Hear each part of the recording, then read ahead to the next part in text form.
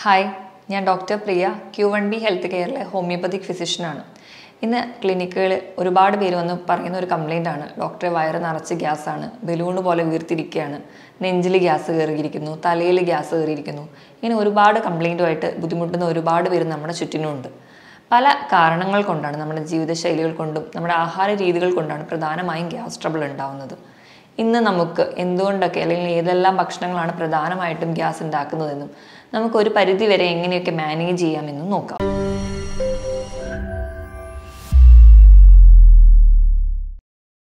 പ്രധാനമായിട്ടും ഈ gas trouble ഉണ്ടാവാൻ കാരണം ഒന്ന് നമ്മുടെ ജീവിതശൈലി നമ്മുടെ വ്യായാമക്കുറവ് നമ്മൾ ഭക്ഷണം കഴിക്കുന്ന രീതി അത് നമ്മുടെ ആമാശയത്തിൽ വേണ്ടത്ര രീതിയിൽ ദഹിക്കാത്തതുകൊണ്ട് ഇങ്ങനെ പല കാരണങ്ങൾ കൊണ്ടാണ് നമുക്ക് ഗ്യാസ് ട്രബിൾ ഉണ്ടാകുന്നത് നമ്മൾ കഴിക്കുന്ന രീതി എടുത്ത് നോക്കുകയാണെങ്കിൽ നമ്മൾ പെട്ടെന്ന് കഴിക്കുക നല്ലപോലെ ചവച്ചരച്ച് കഴിക്കാതെ നമ്മൾ സ്പീഡിൽ കഴിക്കുക കഴിക്കുമ്പോൾ സംസാരിക്കുക അല്ലെങ്കിൽ സ്ട്രോ ഉപയോഗിച്ച് കഴിക്കുക.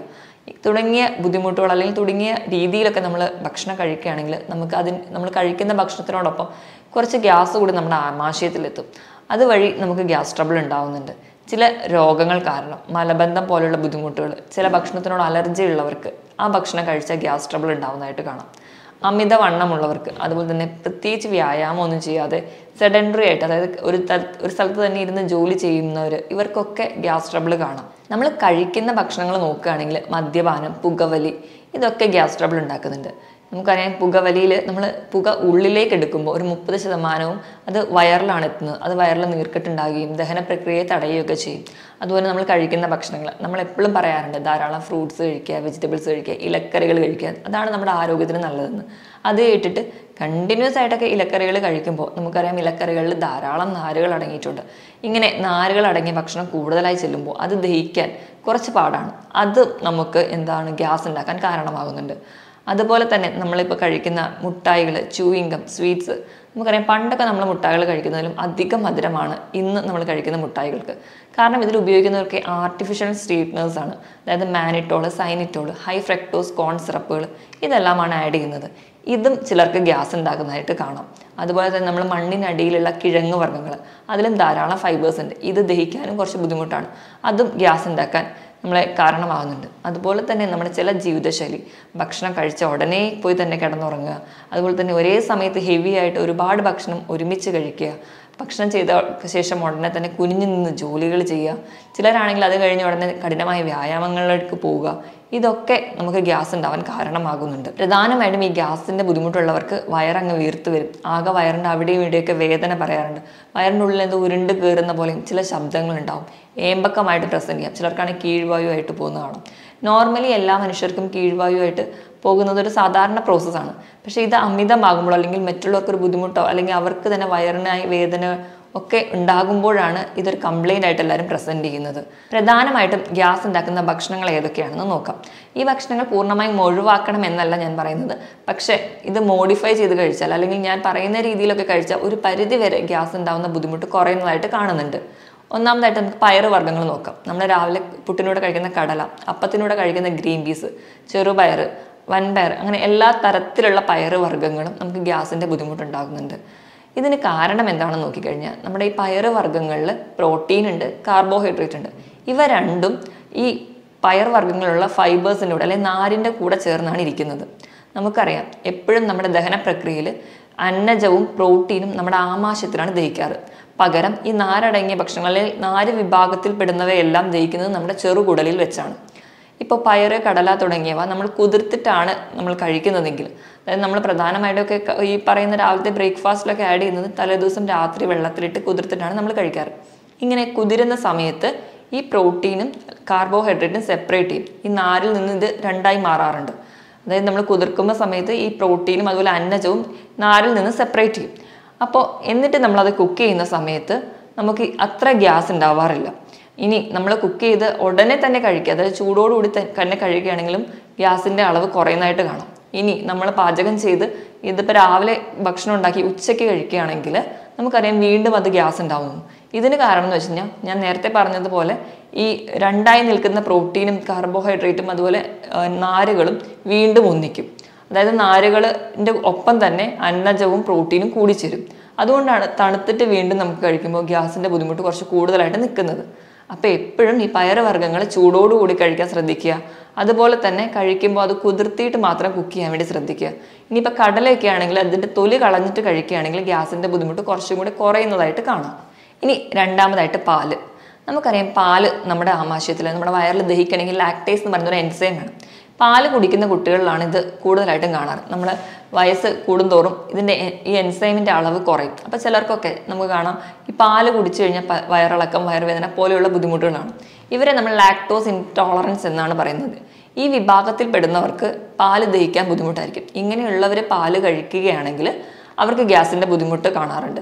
പക്ഷേ നമ്മൾ ഈ പാലായിട്ട് തന്നെ കഴിച്ചാലേ അവർക്ക് ബുദ്ധിമുട്ട് കാണാറുള്ളൂ. പക്ഷെ നമ്മൾ മോരോ തൈര് അതുപോലെ നെയ്യ് വെണ്ണ പനീർ ഈ ഒരു ഫോമിലോട്ട് കൺവേർട്ട് ചെയ്തിട്ട് കഴിക്കുകയാണെങ്കിൽ ഇവർക്ക് വയറിന്റെ ഈ ബുദ്ധിമുട്ടുണ്ടാവുന്നില്ല. അപ്പോൾ നിങ്ങൾക്ക് ഈ പാലിന്റെ ഒരു ഇൻടോളറൻസ് ഉള്ളവരാണെങ്കിൽ നിങ്ങൾ ഈ ഒരു ഫോമിലോട്ട് പാലാക്കി കഴിക്കുകയാണെങ്കിൽ ഈ ബുദ്ധിമുട്ട് നമുക്ക് കുറയ്ക്കാൻ പറ്റും. മൂന്നാമതായിട്ട് ആപ്പിൾ നമുക്കറിയാം നമ്മുടെ സ്ഥിരമായിട്ട് നമ്മൾ കഴിക്കുന്ന ഒരു ഫ്രൂട്ടാണ് ഇതിൽ ഫ്രക്ടോസും ഉണ്ട് അതുപോലെ തന്നെ നാരുകളും ഉണ്ട്. ഈ നാരുകൾ ദഹിക്കാൻ ബുദ്ധിമുട്ടാണ്. അപ്പോൾ നമ്മൾ സാധാരണ കുഞ്ഞുങ്ങൾക്ക് ചിലപ്പോൾ കൊടുക്കുമ്പോൾ ഇതിന് വയറിളക്കമായിട്ട് പ്രസന്റ് ചെയ്യാറുണ്ട്. അപ്പോൾ ഇത് തടയാൻ വേണ്ടിയിട്ട് നമ്മൾ ആപ്പിൾ ആവിയിൽ വേവിക്കുക.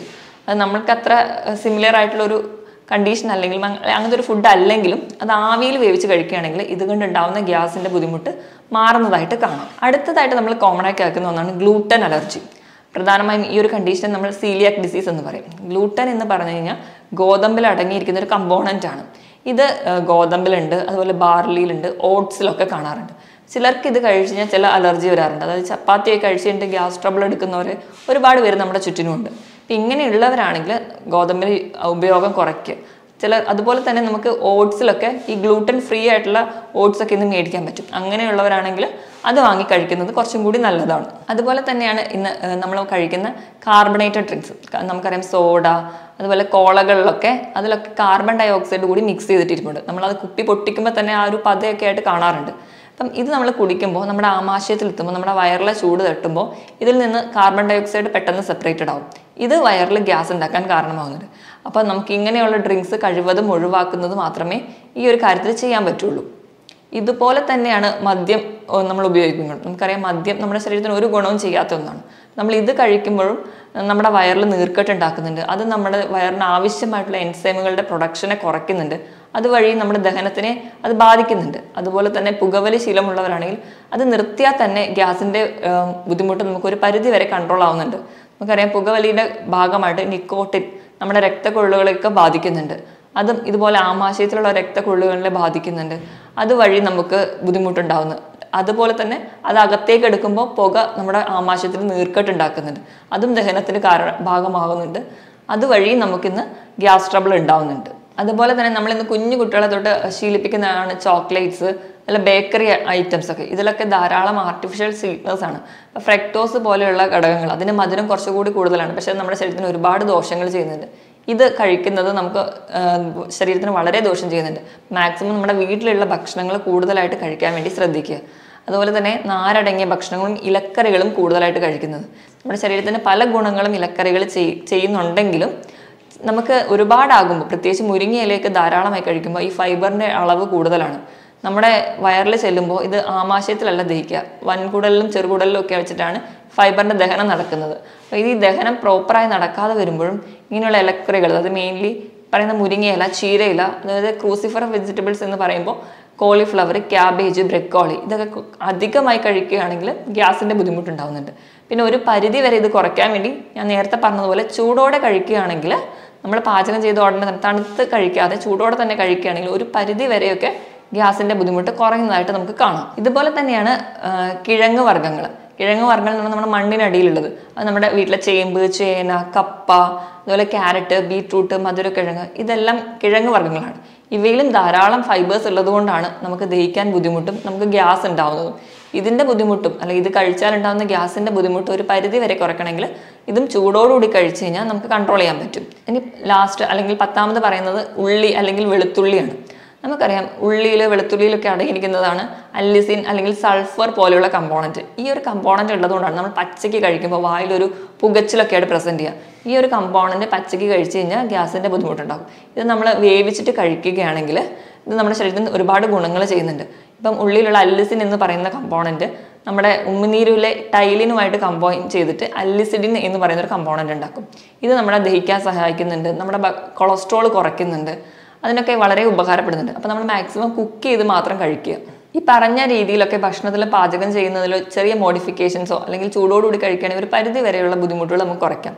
ഇതിനോടൊപ്പം തന്നെ ദിവസവും ഒരു രണ്ടര മുതൽ മൂന്ന് ലിറ്ററോളം വെള്ളം കുടിക്കുക. ഭക്ഷണം നല്ലപോലെ ചവച്ചരച്ച് ഭക്ഷണം കഴിക്കാനായിട്ട് ഒരു സെപ്പറേറ്റ് സമയം വെച്ച് പതുക്കെ കഴിക്കാൻ വേണ്ടി ശ്രദ്ധിക്കുക. കൃത്യസമയത്ത് തന്നെ ഭക്ഷണം കഴിക്കുക. അതും ഒരുപാട് ഒരു സമയത്ത് വലിച്ചു വാരി കഴിക്കാതെ നാലോ അഞ്ചോ തവണകളായിട്ട് ചെറു ചെറിയ ഭക്ഷണങ്ങളാക്കി ഡിവൈഡ് ചെയ്ത് കഴിക്കുക.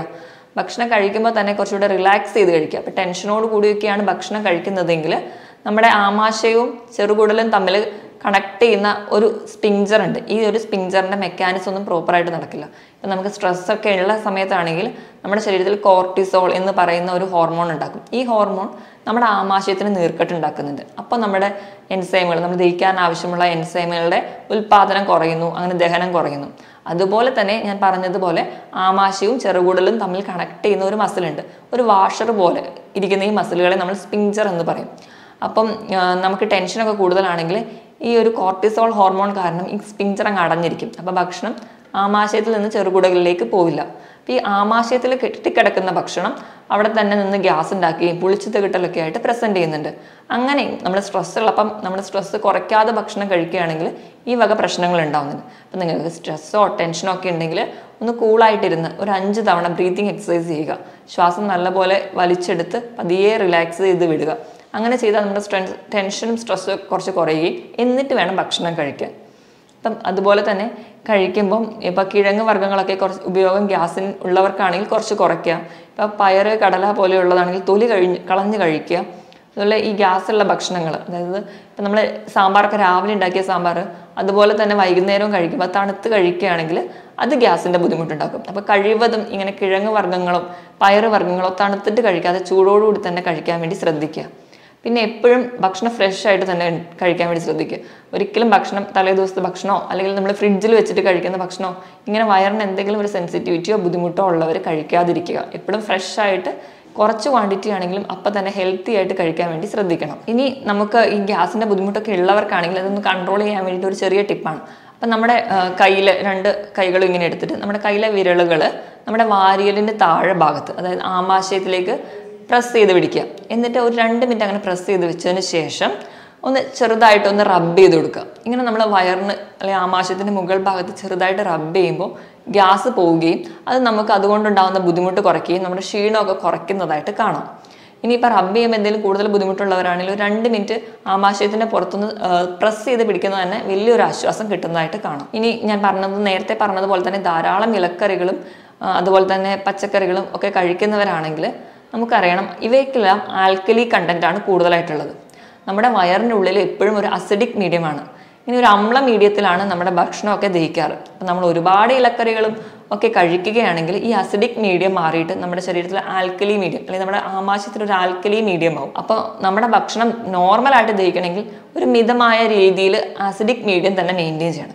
അപ്പം ഭക്ഷണം പ്രോപ്പറായിട്ട് ദഹിക്കാത്തതിന് ഒരു കാരണം എന്ന് പറഞ്ഞാൽ ധാരാളമായിട്ട് ഇലക്കറികളൊക്കെ കഴിക്കുന്നവർക്കാണ്. അതിന് കാരണം ഇതാണ്. നമ്മുടെ അസിഡിക് മീഡിയം മാറുമ്പോൾ ദഹനം പ്രോപ്പറായിട്ട് നടക്കില്ല. അതുവഴിയും ഗ്യാസ് ഉണ്ടാവുന്നതായിട്ട് കാണാം. ഇനിയിപ്പോൾ പ്രമേഹം പോലെയുള്ള രോഗങ്ങളിലും ഇങ്ങനെ ഗ്യാസിന്റെ ബുദ്ധിമുട്ടായിട്ട് കാണുന്നുണ്ട്. കാരണം എന്ന് വെച്ച് കഴിഞ്ഞാൽ അവരുടെ കുടലിലുള്ള മൂവ്മെന്റ് കുറച്ച് സ്ലോ ആയിരിക്കും. അപ്പോൾ ഭക്ഷണം അത് പ്രോപ്പറായിട്ട് ഇപ്പോൾ ദഹിച്ചാലും ആമാശയത്തിൽ നിന്ന് ചെറുകുടലിലേക്ക് പോവില്ല. ചെറുകുടലിൽ നിന്ന് വൻപ കുടലിലേക്ക് പോകുന്ന ആ ഒരു സ്പീഡ് കുറവായതുകൊണ്ട് ഭക്ഷണം ഒരു പൊളിച്ച് തകട്ടാനും ദഹനം പ്രോപ്പറായിട്ട് നടക്കാത്തത് പോലെ തോന്നും. ഇങ്ങനെയുള്ളവരാണെങ്കിൽ ആദ്യം അവരുടെ പ്രമേഹം തന്നെ നിയന്ത്രണത്തിലാകുമ്പോൾ സ്വാഭാവികമായിട്ട് തന്നെ ഗ്യാസിന്റെ ബുദ്ധിമുട്ട് കുറയുന്നതായിട്ട് കാണും. പിന്നെ ഇവർക്ക് പുളിപ്പിച്ച ഭക്ഷണങ്ങൾ ആണ് കുറച്ചും കൂടി നല്ലത്. പുളിപ്പിച്ച ഭക്ഷണം എന്ന് പറയുമ്പോൾ ഇഡ്ഡലി ദോശ തുടങ്ങിയ ഭക്ഷണങ്ങൾ അല്ലെ അപ്പം പോലെയുള്ള ഭക്ഷണങ്ങൾ. ഇത് പൊതുവേ ഈ പ്രമേഹമുള്ളവർ ഇങ്ങനെ അരിഭക്ഷണം കഴിക്കുന്നത് അത്ര നല്ലതല്ല. ഇനി അവർ കഴിക്കുകയാണെങ്കിൽ തന്നെ ഇത് കുറഞ്ഞ അളവിൽ മാത്രം പുളിപ്പിച്ച ഭക്ഷണങ്ങൾ കഴിക്കാൻ വേണ്ടി ശ്രദ്ധിക്കുക. ഈ പറഞ്ഞ മാനേജ്മെന്റിനോടൊപ്പം തന്നെ നമ്മുടെ വീട്ടിലെ ചെറിയ പൊടിക്കൈകൾ കൊണ്ടും ഒരു പരിധി വരെ നമുക്ക് ഗ്യാസിന്റെ ബുദ്ധിമുട്ട് കുറയ്ക്കാം. അതിൽ ഒന്നാമത്തേതാണ് അയമോദകം. അയമോദകത്തിൽ അടങ്ങിയിട്ടുള്ള തൈമോൾ എന്ന് പറയുന്ന കമ്പോണന്റ് നമുക്ക് ദഹനം കുറച്ചുകൂടി എളുപ്പമായിട്ട് നടക്കാൻ നമ്മളെ സഹായിക്കുന്നുണ്ട്. അപ്പോൾ ചിലരാണെങ്കിൽ ഇത് വെറുതെ ചവച്ച് കഴിക്കുന്നതാണ് അല്ലെങ്കിൽ വെള്ളത്തിലിട്ട് തിളപ്പിച്ച് കുടിക്കുന്നതും വളരെ നല്ലതാണ്. ഇതുപോലെ രണ്ടാമതായിട്ട് പറയുന്നതാണ് ഇഞ്ചി. ഇഞ്ചി നമ്മുടെ ഭക്ഷണത്തിൽ കൂടുതലായിട്ട് ഉൾപ്പെടുത്തുക. അതുപോലെ തന്നെ നമ്മൾ കുടിക്കാൻ തിളപ്പിക്കുന്ന വെള്ളത്തിൽ ഒരു കഷ്ണം ഇഞ്ചി ഇട്ട് കഴിക്കുന്നതും ഗ്യാസിന്റെ ബുദ്ധിമുട്ട് കുറയുന്നതായിട്ട് കാണുന്നുണ്ട്. ഗ്യാസിന്റെ ബുദ്ധിമുട്ടുള്ളവർ അതുപോലെ തന്നെ ചെറു ചൂടുവെള്ളം കുടിക്കുകയാണെങ്കിൽ ഒരു പരിധി വരെ ഗ്യാസിന്റെ ബുദ്ധിമുട്ട് കുറയുന്നതായിട്ട് കാണാം. ഇനി നാലാമതായിട്ട് പറയുന്നത് എന്ന് വെച്ചിട്ടുണ്ടെങ്കിൽ ജീരകമാണ്. ജീരകത്തിൽ ധാരാളം എസെൻഷ്യൽ ഓയിൽ ഉണ്ട്.